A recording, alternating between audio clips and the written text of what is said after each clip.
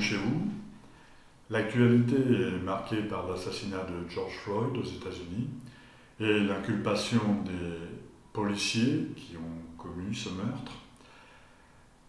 On y voit un parallèle avec ce qui s'est passé ici en France, notamment avec euh, l'affaire euh, d'Anama Traoré ou euh, plus proche de nous, Cédric Chouviat, qui ont eux aussi perdu la vie lors d'un contrôle de police.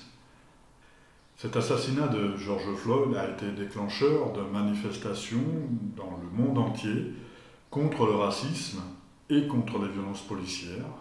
Je voulais vous en parler. Je crois qu'il ne faut pas stigmatiser toute une profession. Toute la police n'est pas raciste, assurément. Il y a des éléments dans la police qui ont des déviances racistes. L'exemplarité de la fonction veut que ces éléments soient écartés du corps de la police, de la gendarmerie ou autre corps de maintien de l'ordre ou de gardien de la paix. Mais je pense qu'il y a un défaut de formation, de discernement et donc une espèce de d'omerta qui font que ces idées nauséabondes euh, trouvent une empreinte dans certains corps, pas seulement dans la police d'ailleurs. Maintenant, il faut justement prendre garde à ce que ce phénomène ne devienne pas structurel à l'intérieur de ce corps de fonctionnaires et euh, que la chose ne soit pas systémique non plus. Le corps de la police nationale nécessite une réforme en profondeur. Il y a des solutions pour enrayer ce phénomène. La formation, euh, la formation plus poussée sur la discrimination, instaurer un récépissé euh, lors des contrôles pour éviter aux jeunes gens, ou moins jeunes gens d'ailleurs, dans certains endroits de se faire contrôler plusieurs fois par jour et ainsi de créer euh, une frustration qui peut aller jusqu'à l'agacement et plus loin. Alors, la mobilisation populaire a fait que M. Castaner, le gouvernement, s'est emparé euh, de la question. Et la solution de M. Castaner a été euh, de demander d'arrêter l'étranglement, il faut quand même considérer quand même qu'on demande à quelqu'un d'arrêter d'étrangler quelqu'un d'autre aujourd'hui. Pour compenser, il a décidé de rétablir l'usage de pistolets à impulsion électrique. C'est-à-dire qu'il a demandé euh, de cesser certaines pratiques qui pouvaient causer la mort pour la remplacer par une autre pratique qui, elle, a déjà causé la mort de centaines de personnes aux États-Unis et qui depuis 2006 n'est plus pratiquée en France. Il faut aussi rappeler la fonction de la police, la fonction euh, de tous ces corps de fonctionnaires qui sont là pour être gardiens de la paix en premier lieu, maintenir l'ordre aussi s'il le faut, notamment lors de manifestations, mais dans ce cas-là, comme le dit la Constitution, comme le dit la loi, euh, les forces de l'ordre sont là pour encadrer la manifestation, plutôt pour la protéger et non pas pour la réprimer. Donc voilà, il y a aussi un paradigme républicain à rétablir, euh, des doctrines de maintien de l'ordre à revisiter certainement, et peut-être de descendre de certains degrés de violence dans les pratiques qui sont euh, mises en œuvre par les forces de l'ordre. Je voulais aussi vous parler de la proposition de loi de Madame Rilac, qui est députée La République En Marche, sur euh, la création de la fonction de directeur d'école. Alors ce qu'il faut savoir, c'est que 11% des directrices et directeurs d'école sont favorables à euh, l'instauration d'un statut ou d'une fonction de directeur d'école. Donc ça veut dire que 89% n'y sont pas favorables. Donc déjà, l'utilité de la loi, euh, est remise en question. Les directrices et les directeurs d'école ont effectivement euh, des difficultés à pouvoir mener à bien toutes les missions qui leur sont demandées, notamment administratives, aujourd'hui. Mais cette loi qui est proposée ne va pas résoudre ces difficultés, elle va euh, peut-être les augmenter, mais en tout cas en amener d'autres difficultés, puisqu'on va leur porter, leur amener d'autres missions.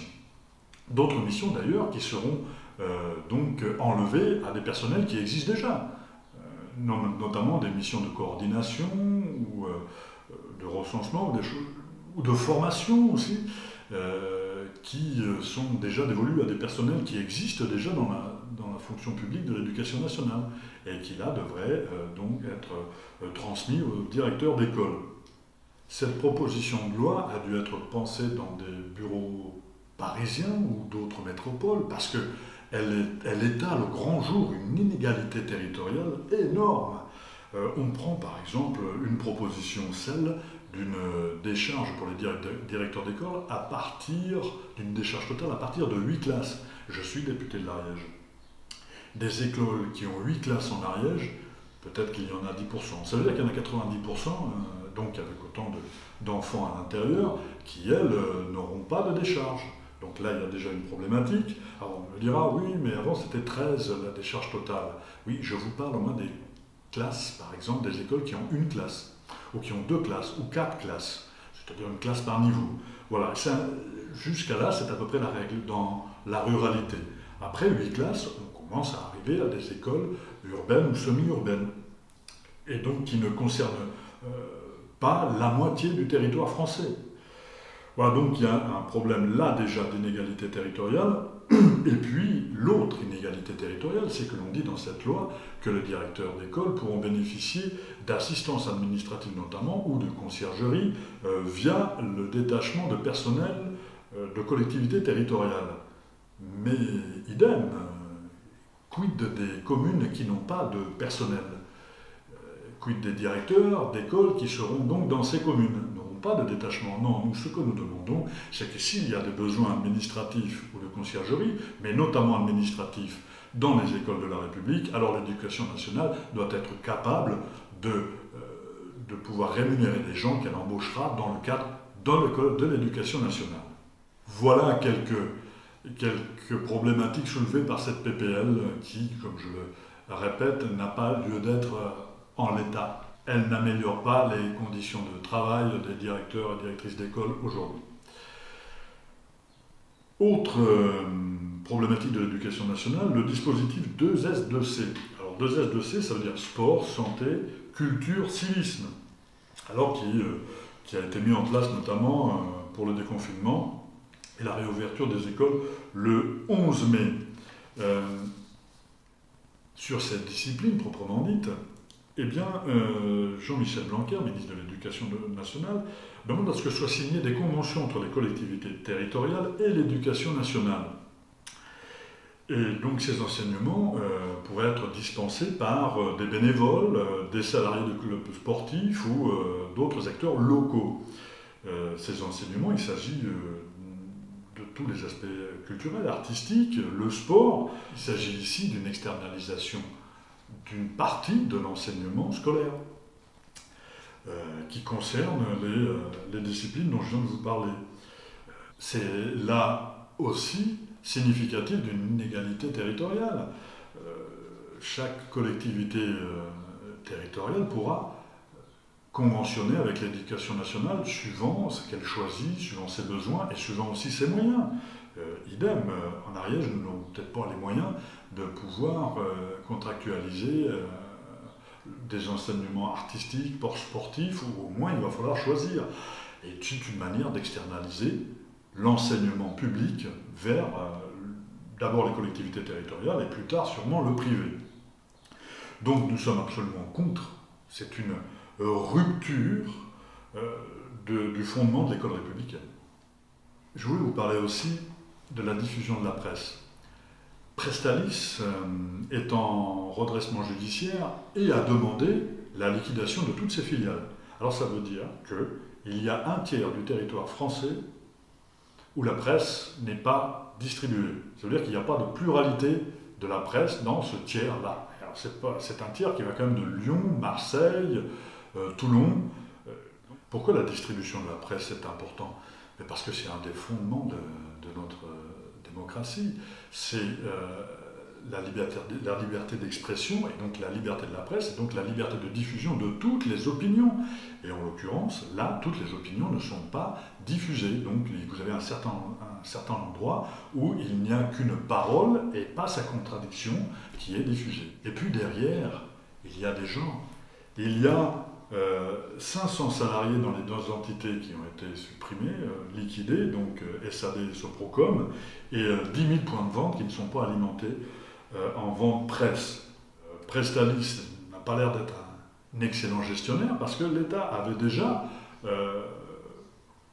mis de l'argent dans Prestalis et avait subventionné cette distribution les choix de Prestalis n'ont pas sûrement été les meilleurs. En attendant, on a un très gros problème. Donc l'État doit prendre toutes ses responsabilités dans le rétablissement de la distribution de la presse, et nous faisons des propositions, une proposition notamment de coopérative, coopérative unique de distribution de la presse, qui serait soutenue financièrement par l'État. Pour finir, les municipales.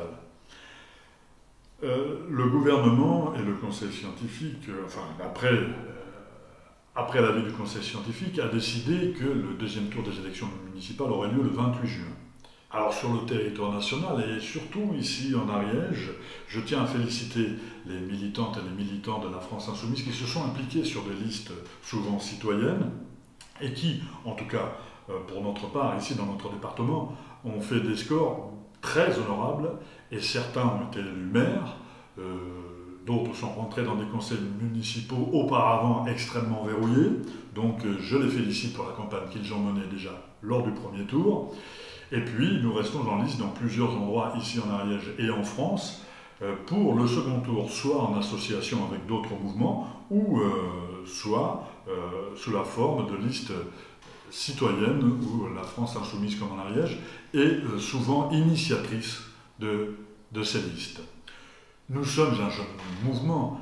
Nous n'avions donc euh, pas énormément d'élus dans les conseils municipaux. Lorsque nous avions des élus, c'était des, élus qui étaient auparavant dans un autre parti ou euh, non encartés, mais qui avaient décidé d'adhérer à la France insoumise.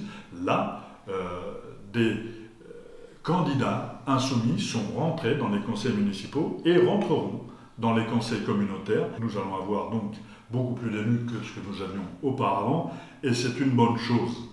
Ce deuxième tour aura lieu, puisque le gouvernement l'a décidé. Il faudra de toute manière rester prudent, euh, établir euh, les gestes barrières que nous connaissons déjà maintenant, et euh, avoir les mesures de protection nécessaires au bon déroulement de ce scrutin, et se rappeler du premier tour des élections municipales, et de l'impact du Covid sur les assesseurs, euh, notamment euh, qui ont œuvré lors de ce premier tour. Il faudra donc euh, vous saisir de ces élections pour décider de l'avenir de vos communes et surtout ne pas laisser la main à ceux qui n'ont pas compris les enjeux auxquels nous devons faire face maintenant, même avec la crise que nous venons de traverser. Il est urgent aujourd'hui de changer d'une part les pratiques politiques, mais surtout de répondre aux urgences écologiques, sociales et avoir un certain courage politique pour les mettre en œuvre, même si ce sont des innovations de rupture.